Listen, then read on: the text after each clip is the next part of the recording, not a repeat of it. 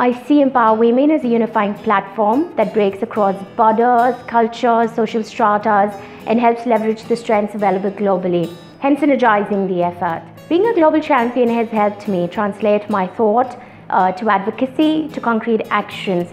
I've been able to reach senior leaders in corporate India who I feel can emerge as catalysts and future change makers for this program. Being a global champion has given me the opportunity to spread the message of empower women across Spain.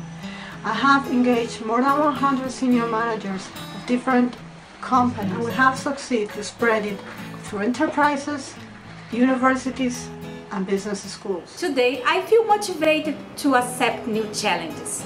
By the way, Last year, I got a new job as a financial controller of a production oil and gas platform, an asset considered the most expensive square meter in the world.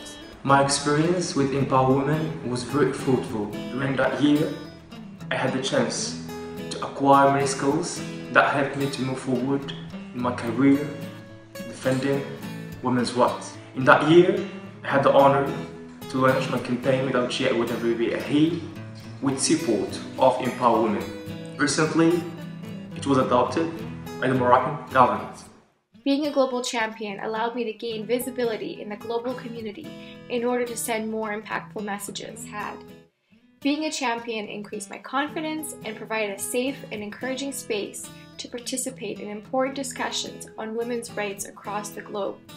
Educating and inspiring others was my mission as champion.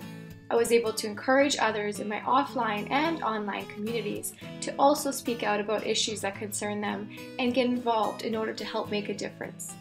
I will always be an Empower Women champion forever. Thank you. I feel women economic empowerment is a critical ingredient for sustainability, whether in the corporate world or in communities around us. Empower Women is an important platform that needs to evolve and flourish over time in order for more men and women to participate in crucial global dialogue revolving around the social, economic, and political rights of women.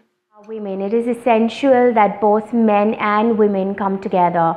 I see Empower Women being able to do just that and bring men as key partners uh, for this change. We need to step up to gender equality to open the doors of opportunity to women occupy their space in business and economy. Come on, girls! Allow me to thank very much indeed the Empower Women and UN Women for their endless support. Thank you so much.